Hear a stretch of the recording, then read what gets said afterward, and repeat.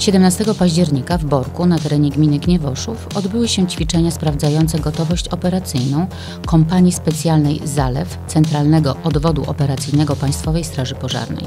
Funkcję dowódcy na terenie powiatu koźnickiego pełni zastępca komendanta powiatowego PSP brygadier Paweł Kowalski mamy taki obowiązek, żeby raz do roku e, takie ćwiczenia e, dla tej kompanii e, specjalistycznej przeprowadzić. Żeby zgrać te zastępy, które właściwie są z całego województwa, bo są takie zastępy oddalone z takiej miejscowości jak na przykład Ostrołęka, są z Siedlec, z Sokołowa, z Węgrowa i oczywiście tu z naszych okolic też południowych. Są to zastępy z całego województwa. Jest to kompania, która może działać na terenie całego kraju, przygotowana do samodzielnego funkcjonowania na 30 36 godzin, posiadamy własne e, wyżywienie, pełną ilość sprzętu i asortymentu, który pozwala nam e, działać przez długi czas. Przegląd gotowości sił i środków z terenu powiatu zrealizowany był pod kątem ich sprawności i kompletności oraz możliwości natychmiastowego dysponowania do działań powodziowych. W dzisiejszych ćwiczeniach też zaprosiliśmy oczywiście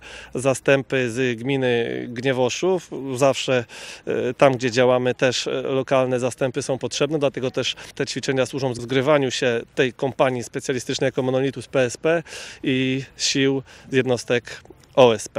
Dzisiejszym założeniem było oczywiście ewakuacja ludzi z zagrożonych terenów. Jesteśmy głównie kompanią ewakuacyjną, ale też mamy przydzielone zadania przeciwpowodziowe.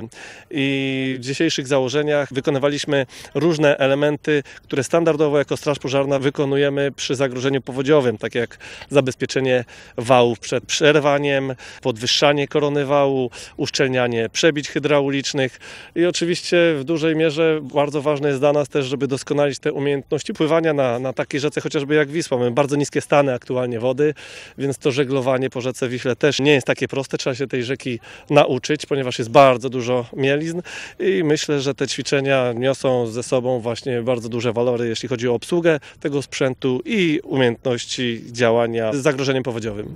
Wśród obserwatorów ćwiczeń byli pracownicy stanowiska wieloosobowego do spraw bezpieczeństwa, spraw społecznych i obywatelskich Starostwa Powiatowego w Kozienicach.